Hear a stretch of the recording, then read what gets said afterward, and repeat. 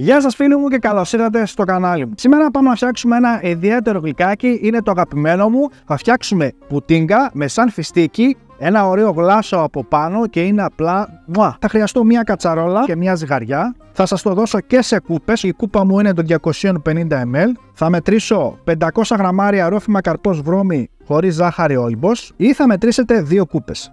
Μία, δύο. Μπορείτε να τα φτιάξετε με οποιοδήποτε ρόφημα καρπός θέλετε ή με κάποιο γάλα. Κατσαρόλα στην αιστεία, δεν ανάβουμε ακόμα φωτιά. 100 γραμμάρια ζάχαρη κρυσταλλική ή μισή κούπα. 4 με 5 σταγόνες υγρή βανίλια. 50 γραμμάρια corn flour ή 4 κουταλιές σούπας γεμάτες. Ανοίγω τη φωτιά και ανακατεύω πάνω στη φωτιά μέχρι που να μας πήξει κρέμα.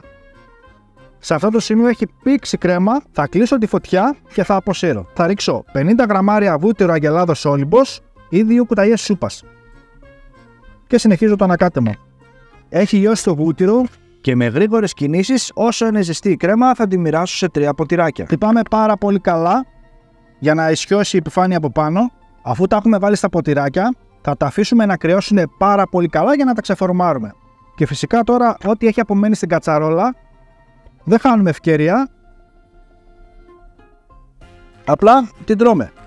Τα γλυκάκια έχουν παγώσει, τα έχω βάλει περίπου 3 με 4 ώρες στο ψυγείο για να σταθεροποιηθούν ακόμα πιο γρήγορα. Ελάτε κοντά να σας δείξω πώς τα ξεφορμάρουμε. Απαλά πατάμε στα πλαϊνά να πάρει το ποτηράκι αέρα και τσαπ έχει ξεκολλήσει. Εδώ έχω σπάσει φιστίκι εγγύνης και τώρα αυτό που θα κάνουμε είναι να το ρολάρουμε κατά αυτόν τον τρόπο που σας δείχνω και κοιτάξτε τι ωραία που έχει κολλήσει. Μην ξεχνάτε φίλοι μου να κάνετε ένα like και μια κοινοποίηση γιατί έτσι με βοηθάτε να συνεχίσω. Φτιάξουμε ένα σοκολατένιο γλάσο για να βάλουμε από πάνω 100 γραμμάρια κουβερτούρα και θα βάλω μια κουταλιά της σούπας ηλιέλαιο ή 10 γραμμάρια.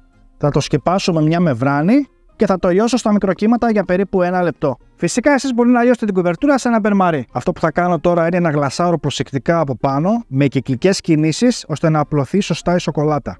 Και τέλος, από πάνω λίγο είναι το κάριδο. Να το φτιάξετε αυτό το γλυκάκι φίλοι μου γιατί είναι πάρα πολύ νόστιμο και πάρα πάρα πολύ εύκολο.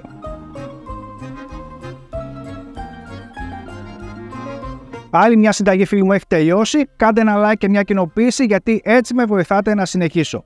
Να το φτιάξετε αυτό το γλυκάκι και να μου πείτε εντυπώσεις κάτω στα σχόλια. Μέχρι το επόμενο βίντεο να περνάτε καλά. Γεια σας.